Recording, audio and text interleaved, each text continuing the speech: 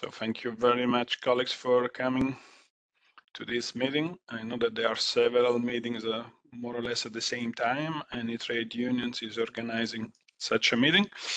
Uh, still, we hope to be the best among the others. I'm just kidding.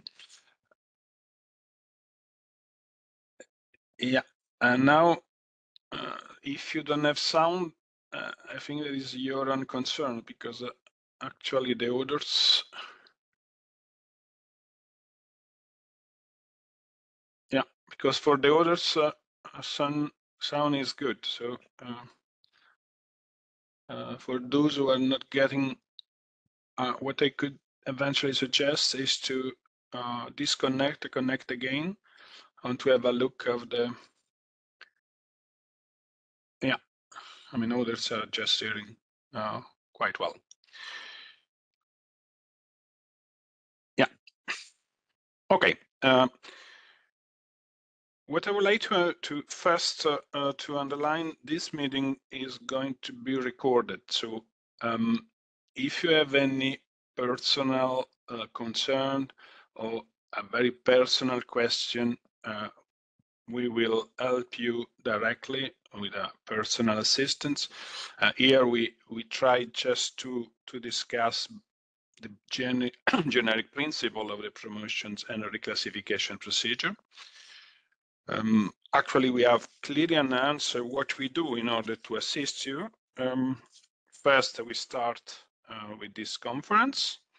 Uh, then we provide you, we have already provided you with the template to be filled in. We have a dedicated help desk. And then, of course, we will try to do our best for standing for your appeal whenever it is presented.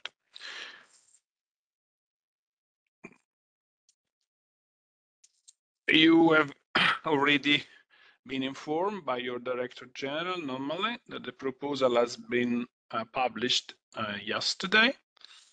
Um, I would like first to clarify uh, several items that are normally uh, not that clear for the colleagues. Whenever you put an appeal, it's not against those who have been proposed by your DG. So the, the game is not that in order to get your promotion, someone must be withdrawn from the list because the promotion committee has a quota of 5% of all promotions and reclassification quota. So if you get a, a, promotion or reclassification through an appeal, it will be good for you, but also good for your Directorate General and office because he will get an extra quota on top of those already uh, distributed. Second, uh, for putting an appeal, uh, you don't need to go against your director general, your director of a unit. It's not a matter of personal hard feeling. Uh, you just stand for your own expectation, right? So there is nothing against. It's not a conflictual approach. Uh, that's why several DG, directorate of unit are just pushing colleagues to introduce an appeal. And third, you are not going to be compared by the colleagues of your own service or DGs or an office, because the promotion committee uh, make an evaluation at general level among all the appeal where will be proposed. Uh, so it's not a matter to show that you are better than someone who has been proposed, uh, because actually it doesn't have any impact on your, your, on your uh, appeal. And your DG will have no interference whatsoever in in dealing with your appeal because the joint committee is composed by several represent representatives of several DGs and staff representative. So it's not made by DG and your director general cannot interfere in the treatment of your appeal. He's going to be informed about it, uh, but not uh, been asked to pronounce himself or herself on the on the appeal that you have proposed. It's important to clarify all these items because we, with our team that is there in order to help you, uh, we normally face this kind of concern, and that's why it's important to clarify from outset. Um, of course, I'm now speaking in English, but you are totally free to raise questions in the chat in French, and if you have something that you would like to be explained in French, no problem, I will do it uh, with pleasure. there is the four pillar of our work in order to help you and to assist you that I've just mentioned. Uh, there is another legend around that means that the staff representative have only based their assessment on seniority. They are only there in order to help all people. Uh, they disregard merit. Uh, that is totally not true. Um, in a way, it's not true, but in a way, is a crucial element. Why? Because nowadays, almost everyone has a wonderful CDR. Almost everyone has in his or her CDR mentioned that the responsibility are really high. Uh, everyone speaks several languages. So at the end of the story, if we are also good with so many responsibilities, speaking so many languages, uh, whenever a decision must be taken how we can allow the quota to be distributed, it's true that seniority in the grade uh, becomes a criteria. I also understand uh, totally that whenever we discuss with you and you want to put an appeal, even if you would get a fast career, uh, you will answer yes by my DG. Several other colleagues have already been proposed in the fast career. And it, and is exactly the concept that we have to, to deal with. Because when the Director General proposes someone, is actually free to, to make a comparison of the merit among those in the same DG. Uh, we meet them uh, as a staff representative in order to discuss the proposal. Uh, sometimes it's also fast career has also the effect of distribution of quota because in some grades you get so many quotas that actually you are obliged to, to, to go for fast careers. But whenever the appeal are introduced, it's clear if you get uh, several appeals and you have few quotas, and everyone again is so wonderful, outstanding, uh, it's not that easy that you could get through if what you are looking for is a fast promotion. I'm not saying that uh, is impossible, and actually it depends on your grade. If you are in the entry grade, it's clear that it's much easier if you are AD 13 or ST 10. The other criteria are those mentioned in the staff I, I, will propose I, I, will go through the, the first part of the presentation and then we will deal uh, with the question, but my uh, wonderful colleague Damien is, uh, is already working in the chat in order to provide you the answer to the question that you have been raising. Uh, so we, we try to be interactive uh, to, to present them, the, the, the slides, but also, of course, uh, uh, answering to your to specific question. So when it comes to deal with the criteria for awarding a promotion, Article 45 of the staff regulation mentioned the criteria that are announced. Um, responsibilities being the first criteria, uh, then is uh, merit, uh, languages, and seniority in the grade.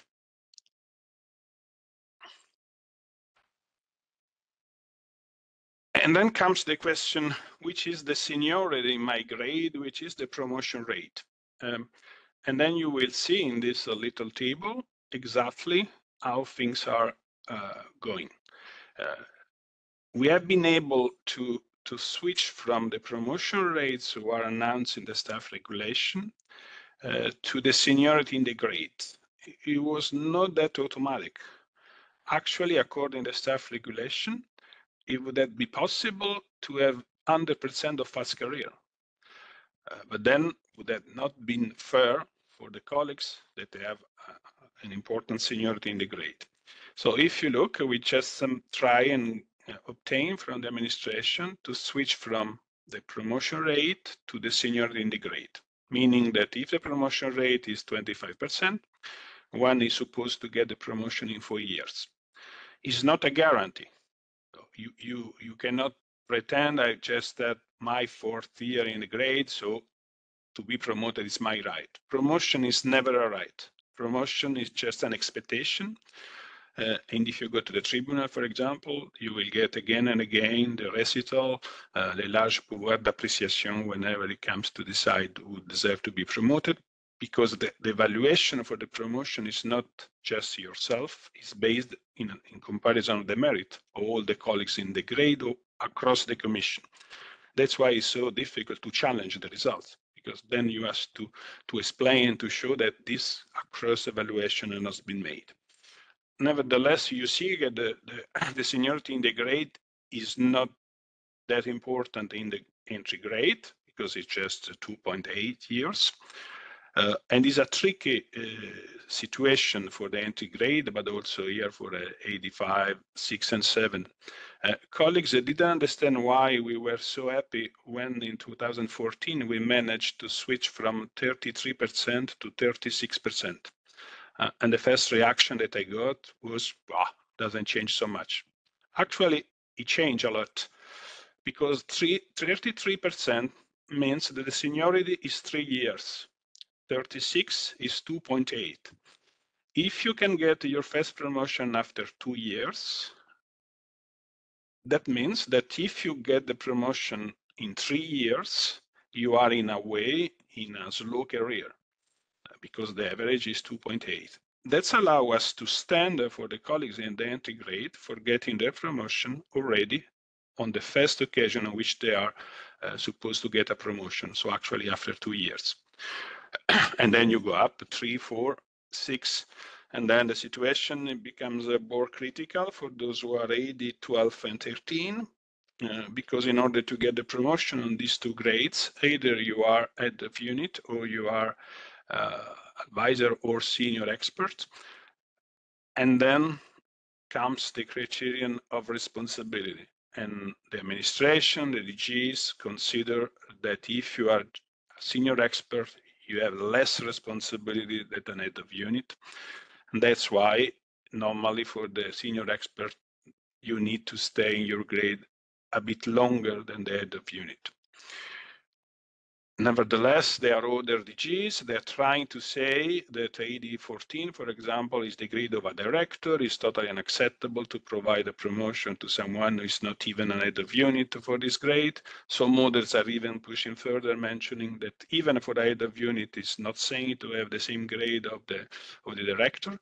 Uh, we have to fight every time whenever these proposals are made. There are DGs who just want to make cascade on the highest grade, providing the promotion to others. Uh, and we try to explain that the staff regulation is there and it must be followed and respected. They cannot just invent their own policy. Um, thank you very much, Damien, for providing all this uh, perfect answer to the question. Um, the situation is uh, is the same that you and you see for the AST, so promotion. We didn't manage to get uh, the same 36% uh, on the entry grade for AST because the reflection was that we have already uh, AST-SC, so we cannot have the same treatment for AD.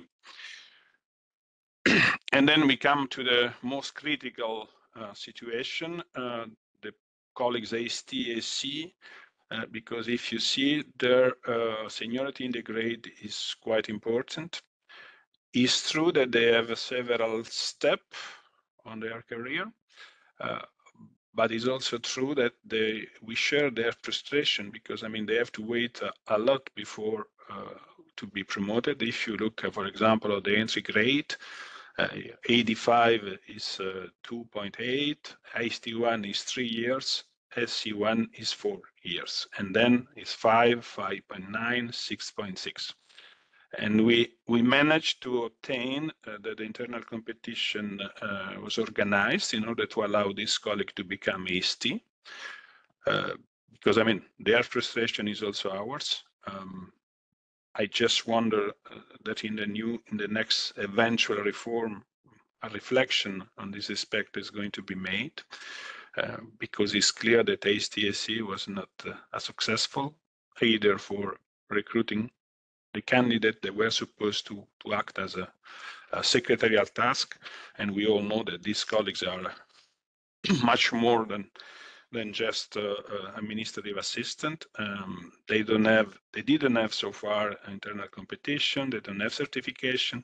So their frustration is totally understandable, and we stand a lot, even in the promotion committee, in order to get extra quota for, for them. Sometimes we manage, sometimes not, but they are on top of our own. Uh, then comes the, the population, our uh, fellows contractual agent. Uh, it's clear that we are here discussing those who have an open-ended contract, not those who have just uh, maximum six year in the DGs. They cannot be uh, reclassified according to this procedure. They can just get an extra grade after three years. So we are here discussing about uh, function group one in the DGs and colleagues working in the office. And then you see the average. Here is different because we don't have any promotion rate in the staff regulation. So it's just the result of the negotiation that we have been doing with the administration. Uh, and actually, uh, instead of having promotion rates or promotion uh, classification or reclassification rate, we, we got a sort of fourchette. And then whenever you have a fourchette, it depends which is your starting point. Uh, and what we put here is the average um, of the colleagues. And I don't have to understand how bad is the situation for our fellows group function group one. They can only get across their career one single uh, reclassification.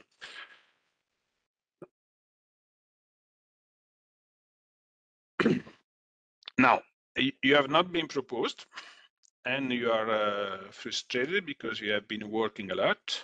Uh, perhaps your head of unit director has promised you to be proposed. Uh, and then they came back mentioning, I made my best effort, but the director general didn't want to propose you. Sometimes it's true, sometimes not. Uh, but the end of the story doesn't matter because the only thing that is important is to see if you are proposed or not. So if you are not proposed, the question is, can I do something? And the only thing that you can do is to introduce an appeal and then start the question, it is worth it to introduce an appeal? Uh, I'm eligible for getting a promotion through an appeal. And that's why we are here in order to help you, providing you all the information. But again, uh, this meeting is not the end of story. This meeting is just the starting point of, uh, the personal assistance that you deserve. Uh, so after this meeting, you are totally entitled to send any question, uh, request of assistance to us, to send your draft appeal to us in order to get our comments. Uh, we are always doing that. We have a, a big team of experts working on this respect. So don't be afraid, your request will be dealt with in appropriate time because we know that the deadline is quite short. It's just five working days from the publication of the proposal. Uh, if you are absent, the mission um, is clear that the deadline is prolonged, uh, especially if you are absent. Mission sometimes there are discussion about it. so it's better avoid to come to the to the very last moment. We never know that sometimes uh, there is concern of our PC. Uh, what is an appeal? Uh, colleagues are starting panicking. How many pages I have to put? Uh, how many, how long uh, do I have to be, uh, what I have to put. That's why we have provided you with template. Template are not there in order to just to be automatic because it depends actually on your specific situation but it's just providing you a sort of guidance in order to to understand better what is going on um, you must also understand that the promotion committee and the working group of the promotion committee uh, will get tens of appeals so you cannot expect to to read uh, tens of pages for each and every appeal, and actually it's not worth it to be so long. Uh, the, the member of the promotion committee and working group has full access to your file in Sysper, so you don't have to copy everything that is already there. You don't have to cut and paste all your CDRs. Uh, uh, an item that is important to take into account in the staff regulation whenever uh, the, the merits and evaluation reports are mentioned is plural. Uh, so it's important to, to, un, to, to underline in your appeal, if it is the case, that you have been outstanding not only this year, but also before, so after the, the last promotion. we, we, suggest to be uh, on one, two pages. I mean, uh, if you feel that you need to do more, you are always allowed to do, but it's in Sysper, you cannot put uh, several pages, you cannot put annexes, and actually it's not worth it because what is in your Sysper file, it's already open to, to the promotion committee. So now we go through the, the different template uh, because it depends on your uh, specific situation. So let's start with the most evident situation. Uh, you have already reached or even uh, went over the seniority on your grade if you are still not proposed. Here, in a way, there is a sort of reverse of the burden of proof. Uh, to be promoted is not a right, but the decision must still be motivated according Article 25 of the staff regulation. So if you are already got the seniority, you are not proposed, the justification must be that your merit are not up to the standard, that your responsibilities are not up to what is requested for your grade. And then uh, this kind of, of, appeal are the easiest one to deal with. And here you see what we suggest you to do. Uh, to start mentioning that you have accumulated X years, and then it's clear that if you are applying for this template, you must refer to the table that I just presented a few minutes ago, on which the seniority in the grade is mentioned. So let's imagine that you are AD 5, for example, and you have been uh, on your grade already for three years. Then you can say that uh, uh, you can say that you are in justified career delays. I mean, I mentioned AD 5, even if the delay is four months. Uh, but if the seniority in your grade is four years and you have been staying your grade for five and six, it's clear that you are uh, confronted to, to, to a slow career that must be justified. and you consider that it's unjustified and that you have to add the reasons. In this specific case, the reasons must be related to the quality of your CDRs, the level of your responsibility, and your languages.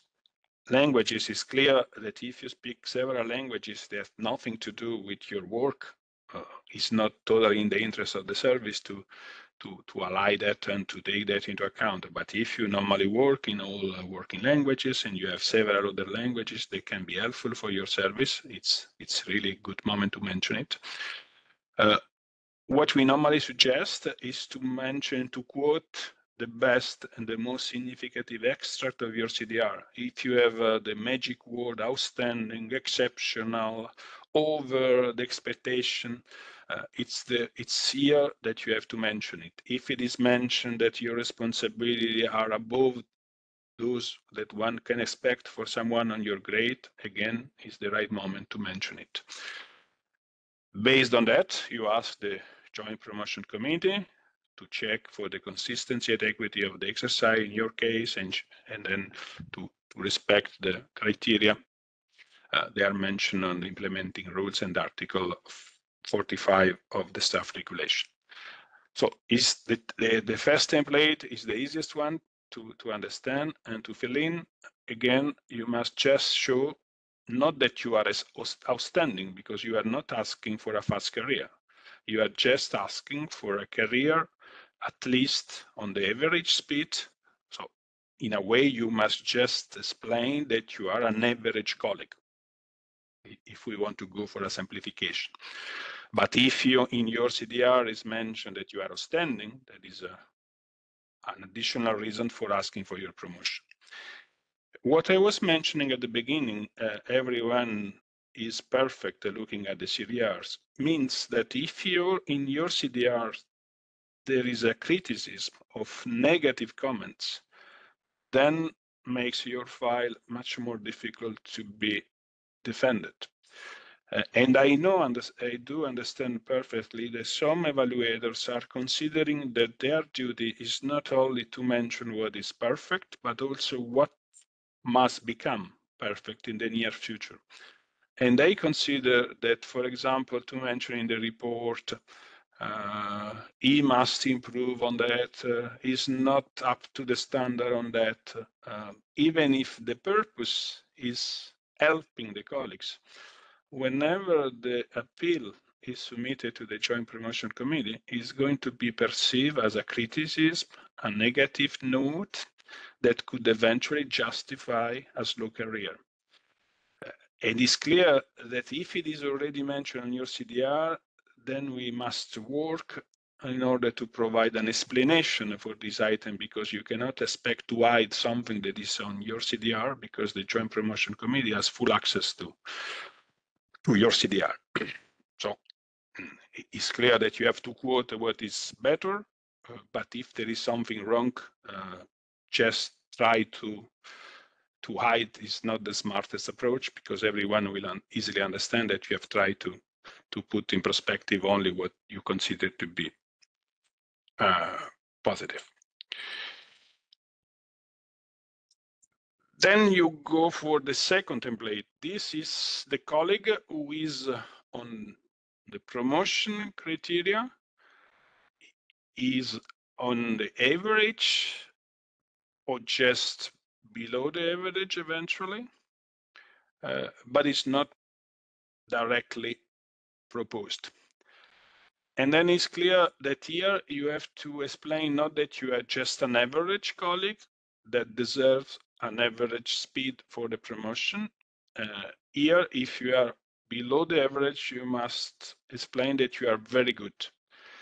Uh, so it's a bit more tricky than the first template um, because you have to explain that you deserve to be faster than the average. Uh, because even if you are just on the average, the argument can be that the quota were not enough. So if you are on the average, it's easier to justify your appeal. If you are below the average, then comes really uh, the need to provide a strong uh, justification. Uh, and I want to be also clear, the chance to get a fast promotion through an appeal are not that easy. They are easier for the entry grade, I mean, you are to just two years, uh, and then you put an appeal, and the seniority is 2.8. Is clear to to stand for your case, mentioning that uh, should you not get your promotion this year, then you will get next year, and then you will be on slow career. but if in another grade is not the case, uh, if the seniority is four years, you have just three, uh, then you must really be strong on your report and your responsibility if you can if you want to get the, the promotion. Uh, everyone is asking me uh, what's your which is your guess? I mean the guess uh, is at this stage impossible because we we don't know how many appeal are going to be proposed on your grade. And we don't know which are the kind of appeal they are proposed. Let's imagine that in, your in one specific grade, all the appeal are proposed by those who are less than the seniority, it's clear that uh, to, to, be on less than seniority cannot be an arm because everyone else will be in the same situation. We can only make an assessment based on the last, on the experience of the last years, and we know that normally we, we get several appeal of those who are already above the average and having wonderful file. Sometimes because the DG are playing dirty games, organizing themselves the, the appeal.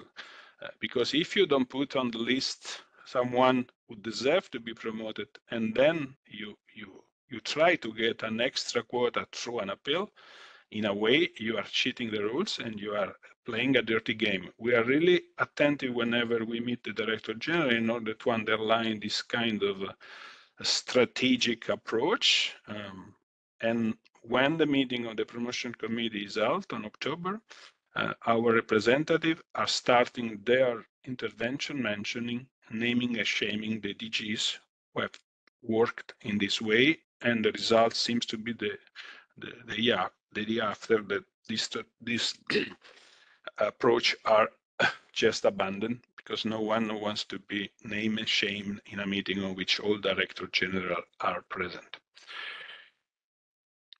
And then is uh, uh, the content of template two that I was just presenting. Then we go for the template three, uh, is for those who, who, are expecting the very first promotion.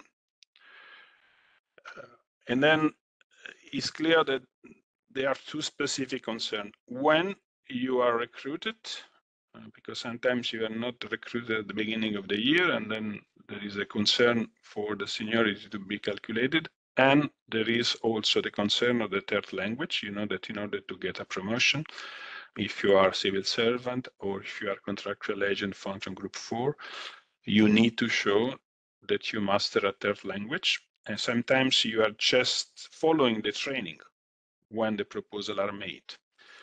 Uh, you have to get the level for the third language before the end of the year.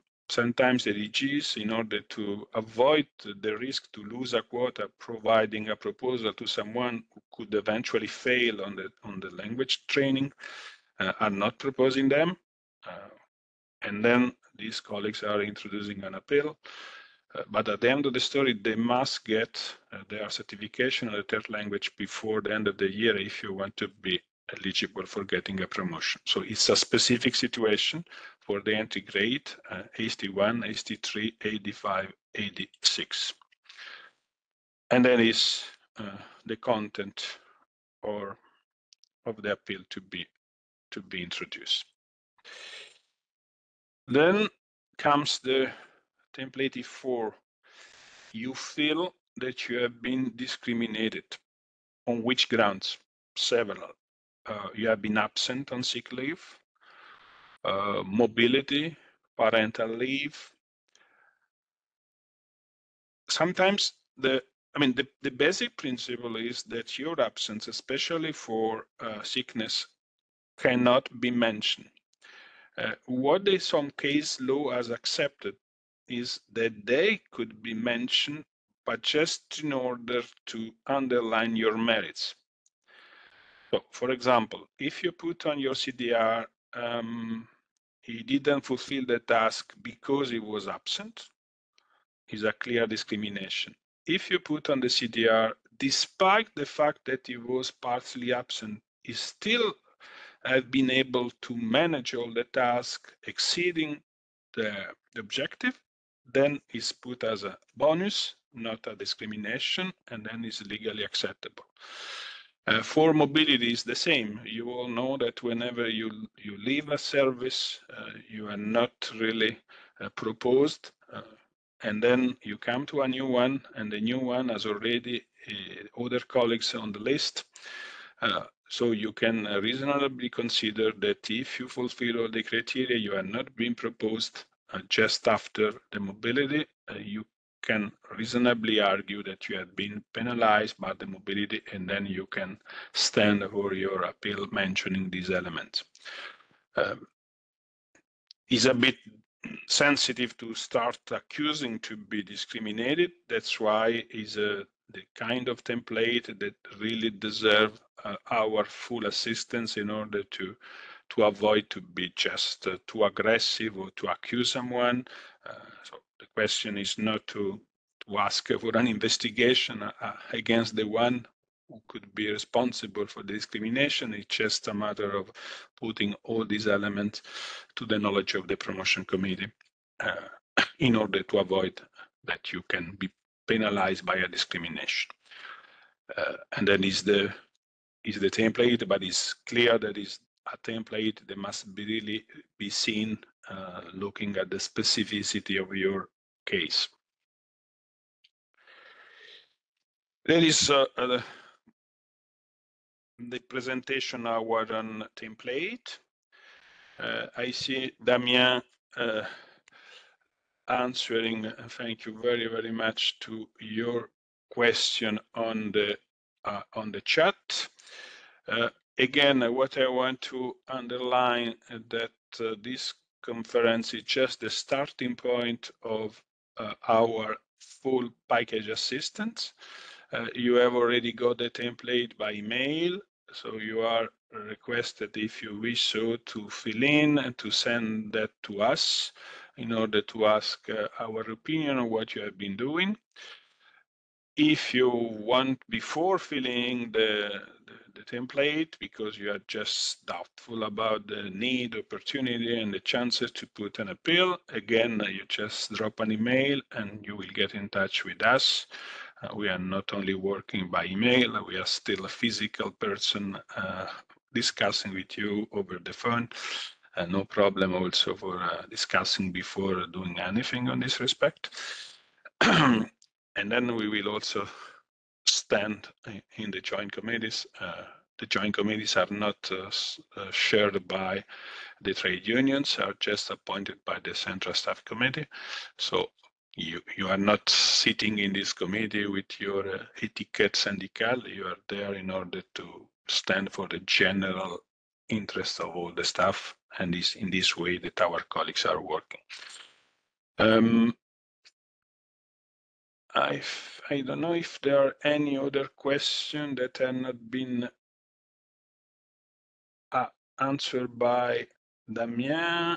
Uh, you are totally free to still keep on sending question uh, and we will be glad to answer.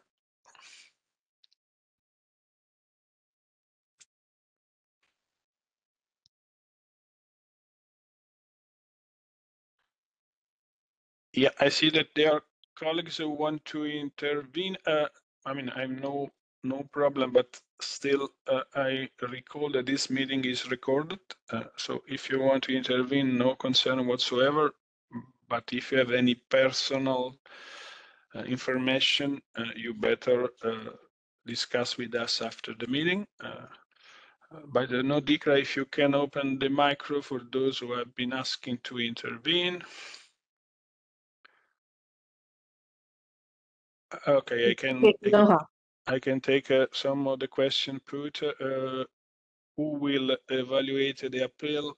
Um, the, evalu the appeal will be evaluated by actually first by a working group, joint working group. So half representative of the staff committee, half from the administration, chairman appointed by the administration. They will go through all the appeal, distributing the quota, making the proposal jointly or not, it depends if they agree or not, uh, to the full plenary promotion committee, who is composed by representative of the DGs and again staff representative, and again the chairman appointed by the administration. Uh, for the timeline, the working group will start working uh, just before and after uh, summer break, and the plenary meeting was the power to decide will be held uh, end of October in order to, uh, to, to, to take the decision before the end of the year. I remember, I recall that they, the promotions, uh, the effect of the promotion is 1st of January of this year. So it's retroactively 1st of January. Um, normally, wor working group and promotion committee try to come to an agreement. Uh, and then is the final compromise, but it can also come that they don't agree on one or two or several specific cases. And then there is a vote. And if there is a vote, the decision will be taken by that. Uh, but the decision of the promotion committee uh, are not actually the end of story because they are just opinion to be sent to the appointing authority that has the final say on the decision. It can happen that even if the promotion committee has put forward a proposal, the appointing authority can decide not to follow the proposal. Uh, is a bit uh, tricky situation because the appointing authority is the director general of the GHR, who is at the same time the chairman of the promotion committee. Uh, so we have already challenged several times this scenario in which uh, the director general of the GHR will approve a proposal as a chairman of the promotion committee and then the day after will disregard the proposal as AIPN, same person, same procedure. But legally speaking, is uh, totally fine for the tribunal.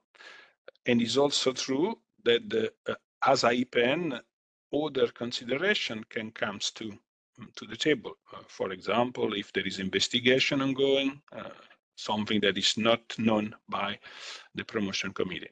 But I'm really um, discussing about a very specific and exceptional situation. Um, yeah, I see that uh, the outstanding efficiency of Damien managed to answer to Yeah, the question. Yeah, if someone wants to intervene, yes. no problem. Laura. Laura. Oui, bonjour Cristiano. Euh, bonjour. Les quotas en appel, euh, je sais que c'est un pourcentage. Euh, ouais, 5%. voilà. Donc moi, je suis un petit peu inquiète par rapport au SC parce que déjà que les quotas sont très peu, alors 5% de rien du tout, ça risque d'être vraiment rien du tout, rien du tout. Est-ce qu'on peut connaître les chiffres ou pas? Oui, alors, euh, paradoxalement, les pouvoirs du comité de promotion pour les STSI par le passé ont été plus importants que pour les autres grades, parce que justement, ne distribuant pas des quotas, tous les quotas ont été donnés au comité de promotion. Et pourquoi on n'a pas distribué par le passé les quotas? Parce que l'argument de l'administration était qu'il n'y avait aucun collègue qui avait atteint la permanence moyenne. Parce qu'il ne faut pas oublier que les, ah les STSC ont été introduits en 2014. Et nous avons dit, vous ne pouvez pas raisonnablement prétendre qu'étant donné que personne n'a atteint la moyenne, personne ne mérite à être promu, alors que dans tous les autres grades, il y a bien des collègues qui sont promus avec des carrières rapides. Ah, C'est pour ça que déjà que le calcul est faussé d'après moi, hein, le, calcul de le calcul de reference speed. Mais bon, voilà. Je ferme la parenthèse. Et, donc, par le passé, les quotas ont été donnés au comité de promotion qui les a attribués selon les recours introduits. C'est pour ça que par le passé, nous avons invité tous les collègues à STSC à introduire un recours parce qu'un élément que je n'ai pas mentionné mais qui est quand même évident, c'est que ceux qui n'ont pas fait recours n'auront aucune chance d'être euh, repêchés parce que le comité de promotion ne peut que gérer les recours qui sont introduits. Donc, nous nous battons de manière très claire pour les, classements, les promotions de nos collègues à STSC. Euh, les quotas qui seront alloués au comité de promotion à ce stade, je ne crois pas qu'on les ait déjà euh, transmis. Euh, les quotas, d'ailleurs, c'est une histoire assez bizarre parce que certains DG, ce que j'apprécie énormément, publient les quotas de promotion. Par exemple, le directeur général de l'OLAF les fait systématiquement. Le service juridique les fait aussi.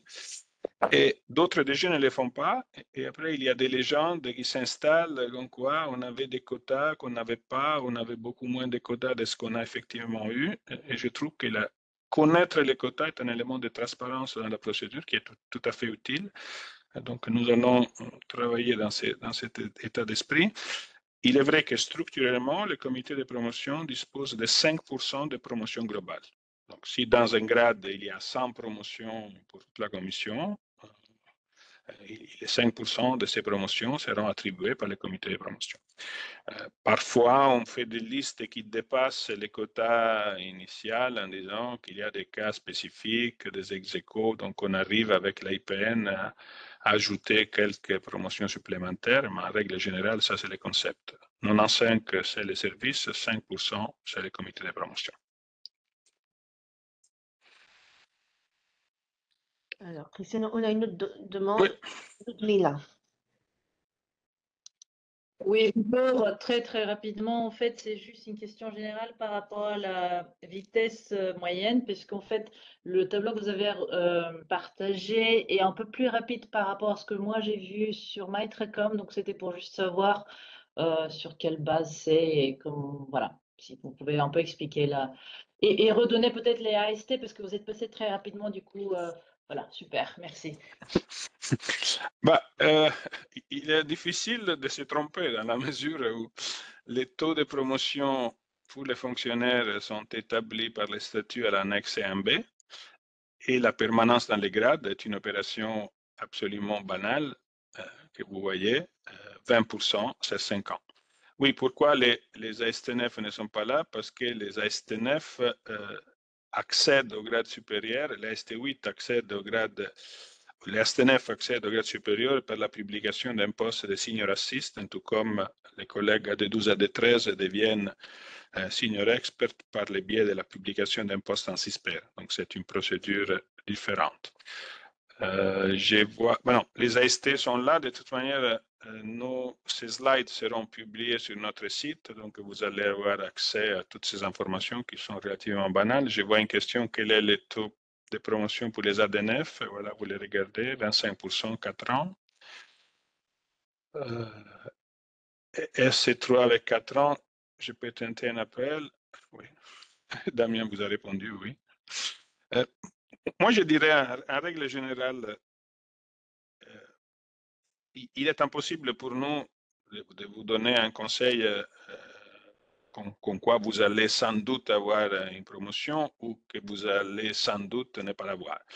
Donc, à part les cas extrêmes, quelqu'un qui est dans un grade de permanence à 5 ans, à seulement 2 ans, et, il prétend avoir des mérites mirabolants, il est clair que la première remarque, c'est que s'il avait autant de mérites mirabolants, il aurait dû être proposé par son directeur général.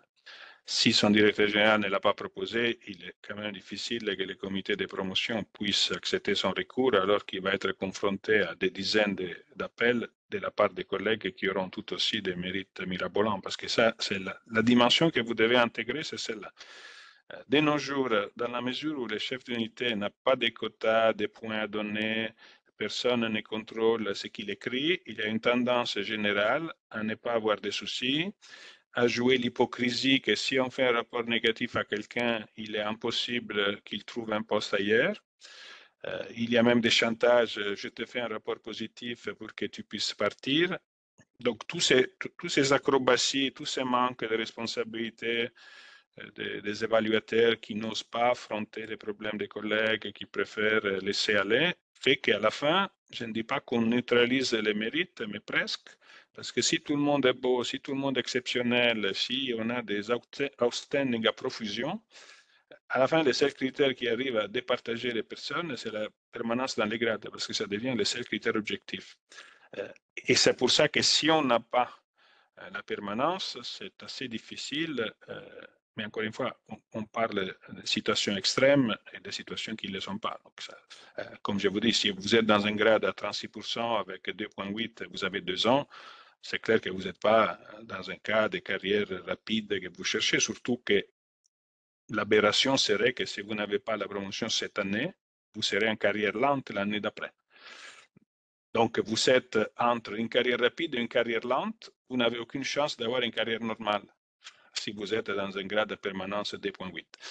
Euh, si vous êtes dans un grade de permanence 3 ou 4, en revanche, c'est clair que si vous avez seulement deux ans, votre promotion sera rapide. Si vous en avez trois, votre promotion sera moyenne. Si vous en avez quatre, votre promotion sera lente.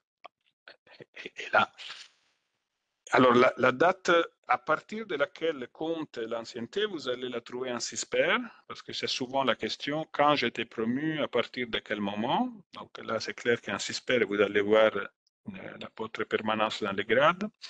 Euh, l'autre question récurrente, c'est je pars à la retraite euh, pour que vous puissiez comptabiliser dans votre pension la promotion. Il faut que vous ayez une permanence dans les grades dessus de la promotion qui dépasse un an. Cela signifie que si par exemple vous partez à la retraite en novembre et vous êtes promu dans, dans l'année en cours, cette promotion n'aura pas, d'effet sur votre pension. Ça aura l'effet de vous octroyer les arriérés à partir de janvier à novembre, euh, mais ça n'aura pas d'effet sur votre promotion. voilà, je ne sais pas s'il y a d'autres questions qui n'ont pas été répondues. Oui. Il y a deux demandes de prise de parole. Vas-y. Euh, Fatos. Voilà, bonjour. Damien a gentiment répondu que logiquement, à partir de deux ans, on pouvait faire appel. Mmh Mais la catégorie des SC, on est bien d'accord que c'est une catégorie de deuxième classe. je dirais. C'est trash ce que je dis, mais quand on regarde votre tableau et quand on regarde sur Intracom, on a droit à la promotion en gros, 5.8, ça veut dire 6 ans pour moi, plus ou moins, à quelques mois près. Prétendre une promotion tous les 6 ans, ça fait un peu beaucoup, enfin, ça fait un peu peu. Et, quand on regarde la charge de travail, par exemple, dans mon cas, je suis, je suis la secrétaire du directeur qui est l'assistante administrative qui fait tout le boulot, je trouve ça un peu fort. Euh, Bon. Et que- que- comment on peut prétendre une promotion dans ce cas-là? Si, si votre directeur, moi, mon chef, il m'a dit oui, oui, je vais tout faire, je vais tout faire, et après, silence radio. Hein. Bon, à côté des chefs d'unité qui font des rapports, tout le monde est beau. euh, il y a des directeurs qui, qui racontent, je t'ai proposé, ils racontent à tout le monde qui- qu'ils ont proposé. En plus, c'est simple parce que les, les traces de ces soi-disant propositions de directeurs n'existaient pas dans la procédure, parce que les seules propositions qui sont connues sont celles, celles du directeur général. Donc là, c'est clair qu'on peut raconter tout ce qu'on a envie de raconter. Mhm. Euh, Je ne dis pas que tout le monde euh, est menteur. Il est parfaitement possible que, que le directeur ait fait tout ce qu'il pouvait. Mais non, il est clair que la, la catégorie des CSC est une catégorie pénalisée, mais qui a une structure de carrière différente des autres. Euh, Elle a une structure de carrière un peu plus euh, euh, comme avant 2004, plus d'échelons et moins de promotions. La, réforme en 2014 a été négociée avec à, à tout moment l'argument vos secrétaires gagnent 9 000 euros. Moi, je faisais le tour des rapporteurs au Parlement, des délégations, et l'argument était c'est un scandale, vos secrétaires gagnent 9 000 euros. Parce qu'ils commençaient à arguer qu'on avait des secrétaires à ST8, à ST9. Et les 9 000 euros, les ST9, euh, un élément très sensible parce que les salaires d'un ST9 à D9, c'est le montant de l'indemnité des parlementaires européens. Et donc l'argument était, euh, vos collègues ne peuvent pas gagner plus qu'un parlementaire, nous sommes élus du peuple et vous êtes des bureaucrates.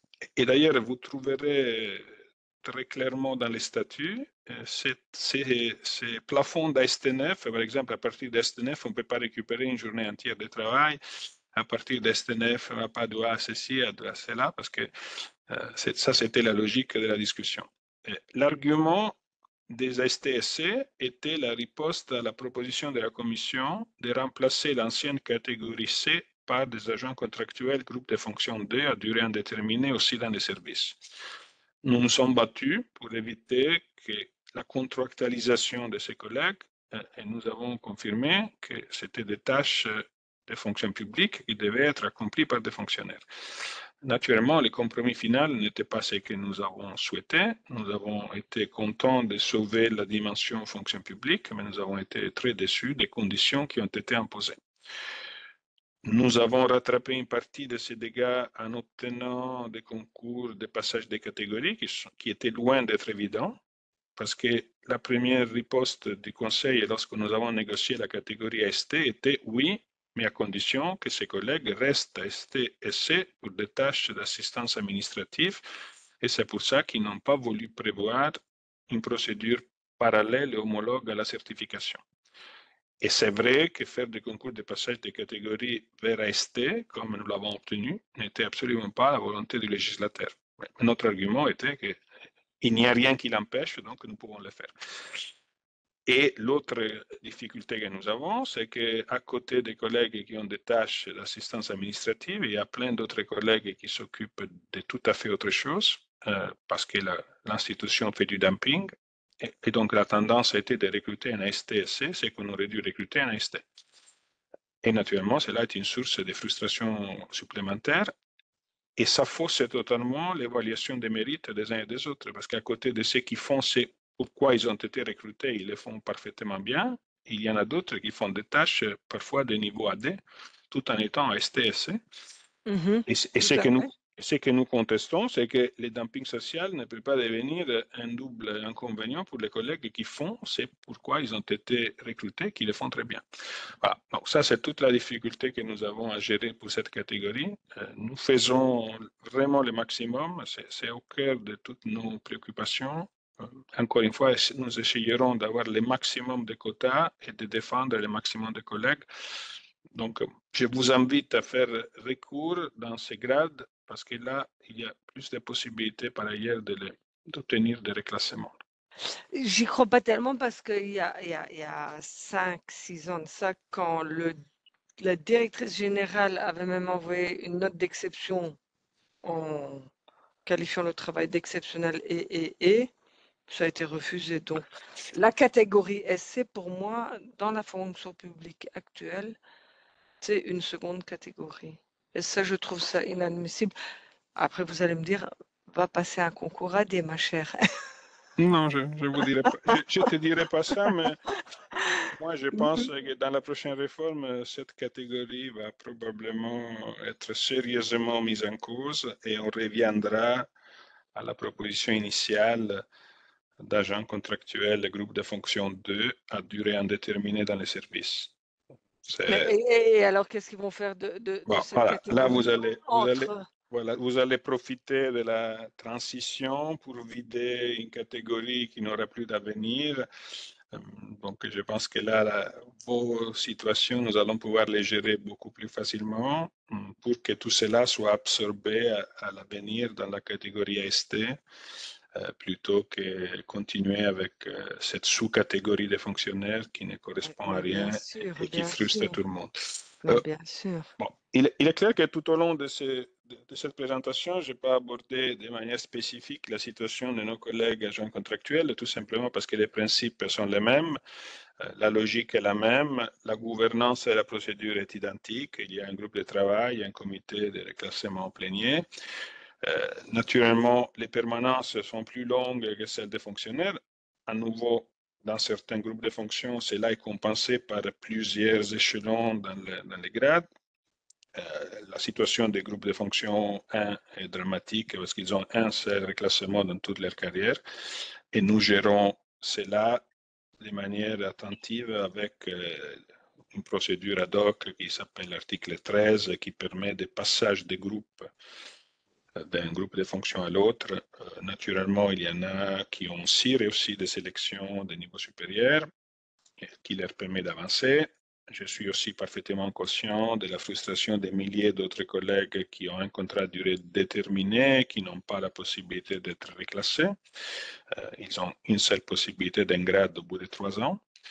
Euh, je suis aussi parfaitement conscient de la frustration de nos collègues agents contractuels par rapport aux possibilités de réussir des concours internes parce qu'ils sont plafonnés à 5% des possibilités de recrutement, encore une fois imposées lors de la négociation avec les conseils. Euh, et je suis aussi parfaitement d'accord des limites à la mobilité de ces collègues qui, à la commission, peuvent seulement bouger d'un office à l'autre ou alors s'ils sont en groupe de fonction 1 avec un peu plus de facilité, ou alors ils doivent passer auprès d'une agence, ce qui leur ouvre des perspectives de carrière différentes. Euh, nous avons harmonisé d'ailleurs le système de reclassement entre office et agence et l'arrêt euh, que nous avons défendu de manière euh, très claire nous permet maintenant de pouvoir changer de la commission à une agence sans être pénalisé au niveau des droits à pension, ce qui était un obstacle important euh, qu'on avait jusque-là. Voilà. Euh, oui, il n'y a pas de concours AST. Euh, la question qui est toujours récurrente, c'est est-ce qu'on peut faire des concours de passage d'AST vers AD alors qu'en parallèle, il y a la procédure de certification? L'administration prétend que si nous voulons défendre la procédure de certification qui a permis à des milliers de collègues AST de devenir AD, on ne peut pas mettre en parallèle une autre procédure euh, de concours. Et je sais parfaitement que les collègues répondent, mais la procédure de certification est beaucoup plus discrétionnaire de ce qui pourrait être un concours, parce que là, on est dans les mains de la hiérarchie, tant au niveau du CDR, tant au niveau de la proposition. Euh, nous avons plaidé par le passé que les deux alternatives devaient être offertes. On commence à avancer, mais il est vrai que la, procédure de certification n'est pas tout à fait acquise à tout jamais, parce que les États membres ne sont pas tout à fait contents que l'on puisse devenir AD par le biais d'une procédure interne, parce qu'ils considèrent que nous exportons au niveau des AD le déséquilibre géographique que nous avons euh, au niveau des ST et c'était aussi l'argument pour empêcher des quotas supplémentaires d'agents contractuels vers la fonction publique parce qu'ils avaient peur qu'on exporte vers la fonction publique le déséquilibre géographique qu'il y a pour les, pour les contractuels. Parce qu'il est clair que le déséquilibre géographique découle du manque d'attractivité de notre fonction publique dégradée à coup de réformes. Et il est évident que si déjà des postes AD ne sont plus attractifs pour certaines nationalités, il faut bien imaginer à quel niveau ils le sont encore moins en AST, en AST, encore en, en agent contractuel. Et donc, il est évident que euh, si la question c'est défendre les ressortissants des pays dont les candidats ne sont plus intéressés à se faire recruter, les plus des procédures internes, les moins que nos, que nos États membres concernés, qui sont d'ailleurs les responsables de la dégradation de la fonction publique de laquelle aujourd'hui ils se plaignent, sont d'accord que, que, cela se fasse. Il ne faut pas oublier que nous en sommes à un point que le Parlement a organisé des concours par nationalité. Euh, c'est ce qui est quand même le contraire de l'idée de la fonction publique euh, que le statut défend. Je ne sais pas s'il y a d'autres questions. Il y a encore une demande de prise de parole. Il y a, Oui. il y a des questions dans le chat et Damien a dû euh, nous quitter. Il avait une autre réunion. Ok, alors on va, on va traiter les, les questions. Alors, tu peux donner la parole et après je vais gérer Oui. les questions. Euh, Sidalia.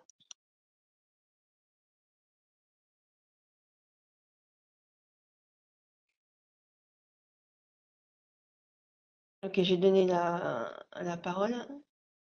Sidalia Santos. Je pense qu'il y a un souci. Ok, ah, je vais, Oui. je vais, I wouldn't call it a right, but it's legitimate to ask your line manager what went wrong and you were not proposing. Yes, of course, you are totally entitled to, to raise the question and I suppose that the answer will be nothing went wrong. It's just that uh, I didn't manage to get through the agreement uh, of the Director General. Uh, in any case, uh, it's true that uh, at the end of the story, uh, there is a comparative analysis at the level of the service. Sometimes it's also a question to be smart enough to understand that if a director comes to the meeting with the director general with bunch of colleagues proposed, uh, without establishing clear priorities, uh, he can be smart in a sense that uh, several colleagues of the directory will be happy to know that the director has proposed them, but it's not that effective for getting results because everyone else will understand easily that it's just playing sort of uh, I want to be nice with everyone, uh, and the result is normally that you don't get what you are looking for. So sometimes it's more clear and even fair to say among those who are entitled to get a promotion, I establish my own priorities based on, and then you explain, instead of saying to everyone, I was there fighting for you, but the nasty director general didn't go for that. Uh, that's why some director general are smart enough to mention that the decisions are not taken by them, but by the board of director in order to share the responsibility. Uh, the seniority in Sysper, uh, Adriana was so kind to answer directly. Uh, ST5 de- euh, depuis 5 ans ayant de bons mérites, est-ce des chances une promotion en appel? Oui. Voilà, Pascal t'a déjà répondu. Um, could you please shed light as to how did she handle a case where the official has been parental leave part of the priority of seniority? Uh, I mean, uh, if you are if you have been absent on parental leave, uh, uh, you you don't deserve you to be penalized. So there is not a policy. Uh, it depends uh, on what they what the DG does. Uh, but I mean, there is no instruction whatsoever. I mean, parental leave is a right. You can go. Uh, so there is no concern on this respect. You have to mention that if you don't get the promotion, you consider to have been penalized by parental leave. You have to mention it. Uh, you have also got an answer on this respect. Désolé, l'article 13 semble être pour les pistonnés. Euh, je, dirais que l'article 13 est une aberration d'un point de vue d'une administration qui fonctionne correctement parce que l'article 13 vise à requalifier les tâches des collègues qui accomplissent déjà des tâches d'un niveau supérieur à leur groupe de fonctions. Donc, dans une administration digne de ce nom, personne ne devrait accomplir des tâches supérieures au contrat lequel il a été recruté. L'aberration devient encore plus évidente pour la certification, où en quelque sorte, la chance d'être certifié est basée sur les constats qu'on accomplit des tâches d'un niveau supérieur au contrat que l'on a.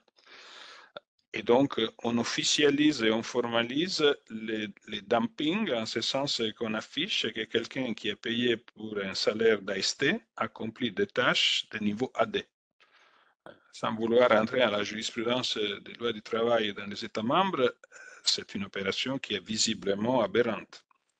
Alors, pourquoi l'article 13 est parfois perçu comme étant, pas pour les pistonnés, mais pour ceux qui sont dans les grâces d'un de leur chef, parce qu'il y a des chefs qui se refusent d'afficher qu'un collègue, dépasse le niveau de responsabilité qui est celui de son grade, même si dans la réalité cela se produit, alors qu'il y a d'autres qui n'ont aucun souci à écrire des descriptions mirabolantes euh, qui permettent l'ouverture de la procédure article 13. Euh, et l'article 13 n'est pas la panacée, ne résout pas l'ensemble des problèmes, ne permet pas un avancement de tout le monde. Euh, nous avons un rôle en tant que représentants du personnel, mais je peux comprendre la frustration de ceux qui ne se voient pas retenus ou qui sont considérés ne pas être éligibles parce que beaucoup reposent sur comment le dossier a monté. Voilà. Voilà, Nourdine dit qu'on on fait ce qu'on peut pour que l'article 13, justement, soit plus transparent. Mais justement, nous faisons ce que nous pouvons. Euh, et l'article 13, entre nous, c'est un peu du bricolage parce que, encore une fois, les législateurs ne voulaient absolument pas qu'on s'invente un article 13. C'est pour ça que dans les statuts, vous voyez qu'il y a un article qui dit que l'on accède au groupe de fonctions supérieures uniquement par le biais d'une sélection générale parce que les législateurs ne voulaient pas une progression de carrière d'un groupe de fonctions à l'autre. L'article 13 le permet. L'article 13 est une sorte de certification pour les collègues agents contractuels. Nous l'avons estorqué en négociant comme des, malades avec Nourdine, Damien et tous les autres. Je ne suis pas du tout convaincu à 100% que ça va tenir lors de l'analyse du recours qui a été introduit par certains collègues. Euh, avec les juges, on ne sait jamais. Nous continuons à les défendre comme étant une mesure sociale, mais je suis d'accord avec vous que ce n'est pas vraiment la, panacée. Euh, pouvez-vous me confirmer que chaque DG a le droit de décider de 3 à 4 ans dans le grade? Non. chaque DG est tenu de respecter les taux de promotion qui sont dans les statuts et qui deviennent des permanences dans les grades selon les tableaux que vous avez vus et qui est d'application pour toutes les directions générales. Personne ne peut s'inventer une politique du personnel. Ce qu'une DG peut décider, c'est proposer plus de collègues en carrière rapide que d'autres, euh, ce qui provoque euh, souvent une réaction très ferme, mais c'est dans le cadre des quotas qui lui sont alloués et toujours dans le respect ou en violation des permanences moyennes que nous avons mentionnées. Il est vrai que si vous regardez de manière globale les propositions des DG, vous avez des politiques de promotion très équilibrées dans certains services, où ils essayent de faire avancer de manière homogène leurs collègues, en considérant qu'ils sont tous excellents, et en évitant de vouloir creuser des écarts qui deviennent des tensions au sein des services. Il y a d'autres DG qui travaillent beaucoup plus dans une différenciation entre les rapides et les autres. Mais les quotas et les taux de promotion, ce sont les mêmes pour tout le monde.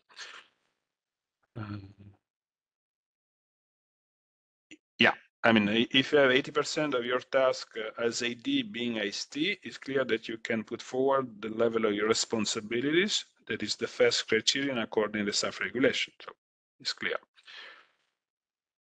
Um, having changed institution in December has been done with the old hierarchy from previous institution. Very good to promise, but tendency carry over on the new. Uh, yeah, I mean, for Enrico, is a specific case to be seen because it's a sort of a conversion of your evaluation made elsewhere in the light of the procedure of the commission. Uh, so it depends where the evaluation has been made and the procedure applicable to the other decision. So I, Pascal has answered already, uh, but sometimes we have concern about what can be exported in a way.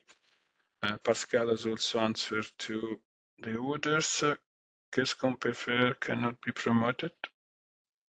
I mean, uh, if, si c'est, vous pouvez pas être, pour les varistes, s'il est marqué que tu ne peux pas être promu soit c'est une erreur, alors il faut le corriger, soit tu ne remplis pas les conditions pour être promu. Donc ça, il faut voir spécifiquement dans ton cas. Donc, on est à ta disposition pour t'aider. Est-ce que la DGCOM prend ses droits, notamment pour le personnel des REP J'ai passé 23 ans sans problème de promotion. Oui. Euh, c'est clair qu'il y a des populations ciblés par les directeurs généraux, considérant qu'ils ont des tâches euh, de haute responsabilité, avec une charge de travail importante. Bon, je ne vous parle pas de mes amis de cabinet, euh, mais il est vrai que la DGCOM y a une tendance à considérer que les collègues qui servent dans les délégations, dans les représentations, ont les responsabilités de premier niveau et il est vrai que la stratégie de promotion du service juridique et celle de la DGCOM sont profondément différentes. Le service juridique est l'exemple d'une stratégie assez linéaire euh, d'avancement de la population concernée en considérant qu'ils sont tous excellents. La DGCOM creuse des écarts parfois importants entre les uns et les autres. Et donc, je peux comprendre parfaitement pour Sylvie que les changements d'approche fait qu'on n'a pas l'impression d'être au sein de la même institution qui applique les mêmes règles, les mêmes procédures. C'est que nous euh, contestons euh, souvent. Il y a des réunions qui se passent très bien avec les directeurs généraux, il y a d'autres qui se passent de manière euh, beaucoup moins consensuelle. Malheureusement, nous n'avons pas le pouvoir de bloquer les propositions des directeurs généraux. Nous pouvons faire appel à la DGHR pour qu'elle intervienne, ce qu'elle ne fait pas très souvent d'ailleurs. Euh, et même si elle le fait, les directeurs généraux lui répondent, c'est notre euh, usine. Euh, ce que nous faisons, c'est relater les, pratiques inacceptables en plénière. la plénière des comités AD étant composée par tous les directeurs généraux. Ça sort des effets, on les voit l'année d'après, mais ça ne corrige pas forcément les, aberrations de l'année. Marc aussi, merci, a répondu. Um, what point was the transition? Uh, uh, uh, the transition was in 2014 is the results of the last reform of the staff regulation. You must see the, uh, the annex updated after the reform uh, thanks to Unical. I think that we are almost there. I mean, in any case, it, it's uh, really not the end of story. I mean, it was just a presentation. Now our team of experts is at your disposal for your request. We are going to work a lot during the weekend because we know that we must provide you with an answer before the deadline. The deadline means five working day from yesterday. Um, so we have already tens of requests, but we are happy to have a, a big team of experts that can help you. Uh, so for any kind of question, you can drop an email to our functional mailbox. I will take care of getting back to you.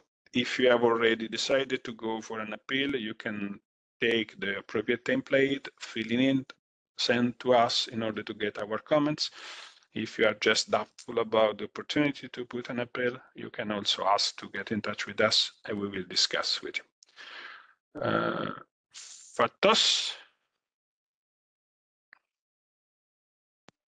Oui, juste une petite question. Euh, vous dites qu'on peut envoyer un mail à la boîte fonctionnelle, chose que j'ai déjà faite hier. Je peux attendre une réponse euh, d'ici combien de temps? Bon, des trois mois tu, tu, tu recevras, tu Un vrai fonctionnaire. Voilà. Euh, les fonctionnaires, les week-ends, on n'est pas là pour traiter les recours quand même. hein. Non, non, non, mais bon. oui, on, on travaillera, on sait très bien qu'on va travailler pendant les week-ends parce qu'on ne va pas pouvoir gérer Mais, seulement mais- à partir mais de par lundi. contre, ma demande, désolé pour les autres, mais ma- Oui. par contre, ma demande, c'était juste pour qu'on m'aide à rédiger cet appel, justement. Voilà. Mais bon, on va t'aider, mais bon, pour t'aider, il faut que tu nous aides. Donc là, si tu prends les templates qui te concernent et tu mets dedans des éléments pertinents de ton CDR, si dans ton CDR c'est marqué que tu es exceptionnel, comme je suis sûr, tel, tel est le À cas. votre avis. Voilà. Donc, euh, si tu peux mettre ça dans, dans la partie qui concerne euh, ton dossier personnel, quand tu étais promu la dernière fois, euh, là, ça va nous aider pour t'aider à corriger les templates qui, va, qui doit être introduit en CISPER. Super, merci beaucoup. Merci à toi. Voilà. Je pense qu'on peut terminer là. Euh, Nourdine euh, rappelle que cette année, pour les agents contractuels, nous avons obtenu beaucoup de 185 quotas supplémentaires. Donc, cette année, euh, je pense que nous allons euh, satisfaire plus des collègues agents contractuels qui sont, qui sont au cœur de nos préoccupations parce que il y a une dimension sociale qui manque dans notre institution. C'est vrai que chacun ne voit que son nombril, chacun pense à soi.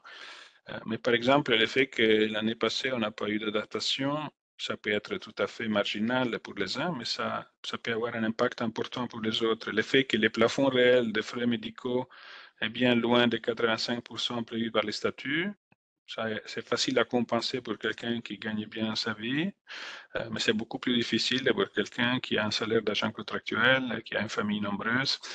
Euh, et donc, euh, les quelques, et pour ne pas oublier que les reclassements des agents contractuels, souvent, c'est quelques dizaines d'euros, et certainement pas des centaines d'euros, et encore moins des milliers, et que cela est quand même parfois très important. N'oublions pas toujours que notre méthode est basée sur l'idée qui est devenue maintenant une illusion, que nous soyons tous des expatriés très bien payés, qui habitent dans les meilleurs quartiers de la ville, euh, qui ont une répartition de leurs ressources euh, pas du tout équilibrée, en ce sens euh, que c'est beaucoup plus important les loyers dans ces quartiers que les produits alimentaires, alors que nos collègues agents contractuels ont des salaires qui les assimilent beaucoup plus au panier de la ménagère des citoyens du pays d'accueil. Et donc, ils sont frappés beaucoup plus par les taux d'inflation, et notamment par l'augmentation des prix des produits alimentaires, par exemple. Euh, parce que si quelqu'un gagne 10 000 et quelqu'un gagne 2 000, ce n'est pas que celui qui gagne 10 000 produit, que achète cinq fois plus de produits alimentaires, parce qu'à la fin de la course, tout le monde mange plus ou moins la même chose. Et donc, certaines augmentations ont un impact beaucoup plus frappant pour les collègues moins bien payés. Et c'est pour ça que pour ces, pour ces collègues, l'effort de solidarité doit être beaucoup plus important. Euh, je sais que je ne me rends pas toujours populaire même vis-à-vis de, de, mes petits confrères syndicalistes lorsque je dis ça, mais je pense que notre fonction publique doit intégrer une dimension de solidarité et arrêter de considérer que nous sommes tous traités à la même enseigne et que nous allons tous arriver là où les autres sont déjà, parce qu'il y en a qui n'arriveront jamais là où les autres sont déjà. Et tout ça doit être intégré aussi dans notre stratégie. Les collègues ASTSC, les collègues agents contractuels méritent un effort absolument exceptionnel et particulier de notre part. Et c'est ce que nous essayons de faire dans toutes les limites du possible. Merci à vous pour les compliments que je vois. Nous faisons de notre mieux. Vous voyez que nous organisons une conférence par jour. À la fin, je ne sais pas si on y arrivera à tenir ce rythme. Et je vous invite aussi à participer aux autres conférences, notamment la semaine prochaine. Nous avons une conférence très importante avec les journalistes des politiques sur les résultats des élections. Et mardi, nous avons une conférence avec le président du board des écoles européennes, que je sais fait partie aussi de vos préoccupations. Sur ce, je vous remercie encore. Je vous souhaite un excellent week-end. Nous allons travailler pour vous aussi pendant le week-end. Nous allons revenir vers vous début de la semaine pour ceux qui ont déjà introduit leur demande d'assistance et pour ceux qui l'introduiront encore aujourd'hui. Merci encore et bon week-end.